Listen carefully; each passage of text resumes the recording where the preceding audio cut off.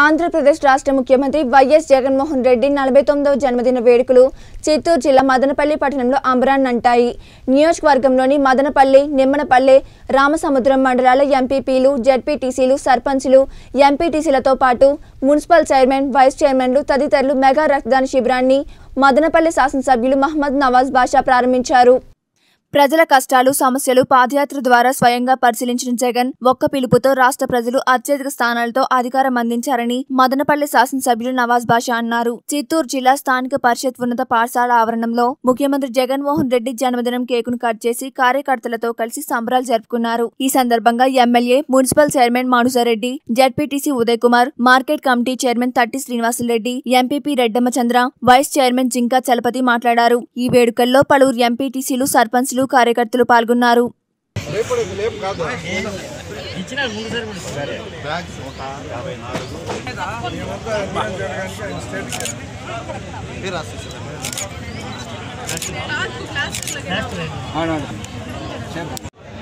యావత్ ప్రపంచం మొత్తం కూడా పండగ వాతావరణం. దానికి కారణం ఏమంటే రాష్ట్ర ముఖ్యమంత్రి జగన్మోహన్ రెడ్డి గారి జన్మదిన శుభాకాంక్షలు చేయాలని చెప్పి ప్రతి ఒక్కరూ కులాలకు మతాలకు అతీతంగా ప్రాంతాలకు అతీతంగా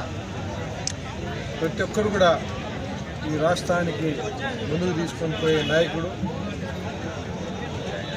బీదల గురించి ఆలోచించే నాయకుడు బీదల గురించి మంచి చేసే నాయకుడు కాబట్టి ఈరోజు ఎక్కడ కూడా బ్రహ్మరథం కొడుతూ అనేక రకాలుగా వాళ్ళు వాలంటరీగా వచ్చి వాళ్ళందరూ కూడా మేము బ్లడ్ క్యాంప్ చేస్తాము మేము కేక్ కటింగ్ చేస్తాము మేము అనేక రకాలుగా సంబరాలు చేస్తామని చెప్పి కోరుకుంటూ చేస్తూ ఉండేదాన్ని. దీని వెనకాల ఏమంటే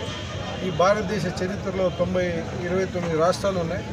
ఆ ఇరవై తొమ్మిది రాష్ట్రాల్లో కూడా ఏ రాష్ట్రంలో కూడా ఇంత ప్రజా ప్రజలు ప్రజాదర్భన ఉండే నాయకుడు ప్రజల గురించి ప్రజలు గుండెల్లో ఉండే నాయకుడు తన తండ్రి రాజశేఖర్ గారి తర్వాత తన కొడుకుగా జగన్మోహన్ రెడ్డి గారికి ఇంత బ్రహ్మరథం పడుతున్నారు. మేమందరం కూడా శాసనసభ్యులుగా ఇలాంటి ముఖ్యమంత్రి కింద పనిచేయడం ఇలాంటి ముఖ్యమంత్రి మా అందరికి ఉండడం మేము చాలా అదృష్టంగా భావిస్తున్నాం రాబోయే కాలంలో ఇంకా ఈ రాష్ట్రానికి ఆయన బతికిన రోజులు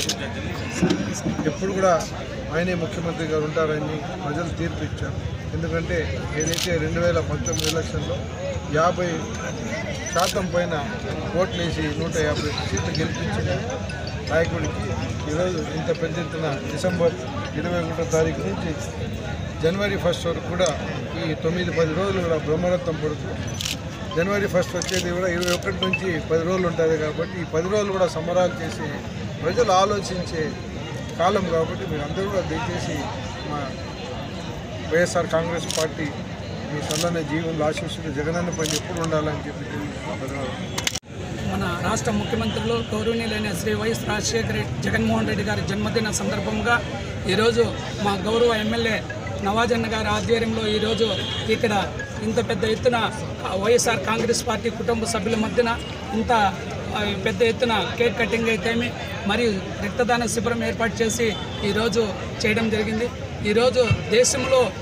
స్వాతంత్రం వచ్చినప్పటి నుండి కూడా పేదలు ఆర్థికంగా అభివృద్ధి చెందలేదనే ధోరణిలో మన గౌరవ ముఖ్యమంత్రి గారు ఆలోచించి ఈరోజు నవరత్నాలు తెచ్చి పేదలందరి జీవితాల్లో వెలుగు నింపుతున్న ఈ మహానుభావుడు మరిక్క ఇ- ఇలాంటి జన్మదినాలు ఎన్నో జరుపుకోవాలని మనసారా కోరుకుంటూ ఈ అవకాశం ఇచ్చిన పెద్దలందరికీ కూడా ధన్యవాదాలు. తెచ్చిన ఘనత చరిత్ర ఈ భారతదేశంలో ఎవరికైనా గారి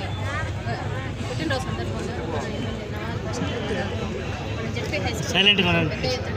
మెగా క్యాంప్ నడుస్తుంది రక్త రక్త యువతకి ఇన్స్పిరేషన్గా తను ముందుగా బ్లడ్ డొనేట్ చేస్తూ బ్లడ్ క్యాంప్ మొదలు పెట్టడం జరిగింది. ఇదే